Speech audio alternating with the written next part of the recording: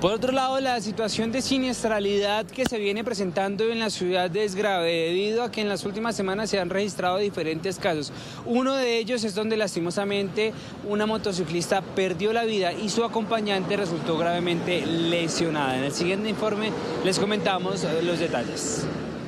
En el corrido del 2023 fueron 270 motociclistas que fallecieron en siniestros viales en Bogotá, cifra que lastimosamente no ha tenido una mejoría, ya que son más de 20 motociclistas que han fallecido durante este año. El último caso que se registró es cuando un taxista borracho atropelló a dos mujeres en Bogotá.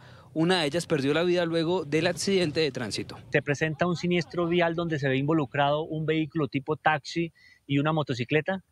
En este hecho, lamentablemente pierde la vida una mujer y otra resulta lesionada.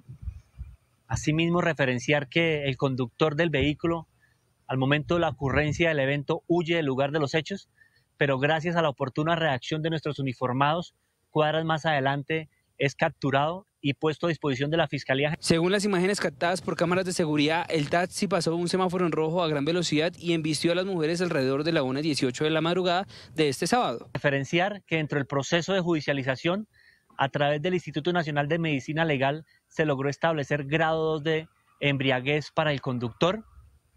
Es por eso que hacemos un llamado a todos los conductores, tanto de vehículos como de motocicletas, para que no mezclen las bebidas embriagantes con la conducción. Lamentablemente una de las mujeres falleció antes de llegar a la clínica debido a las graves heridas que presentaba. Su compañera resultó herida y fue trasladada a la clínica medical de Kennedy para recibir atención médica. Si esta noticia le interesó o quiere conocer más, no olvide suscribirse en nuestro canal de YouTube que es gratis, visitar eltiempo.com o seguirnos en nuestras redes sociales.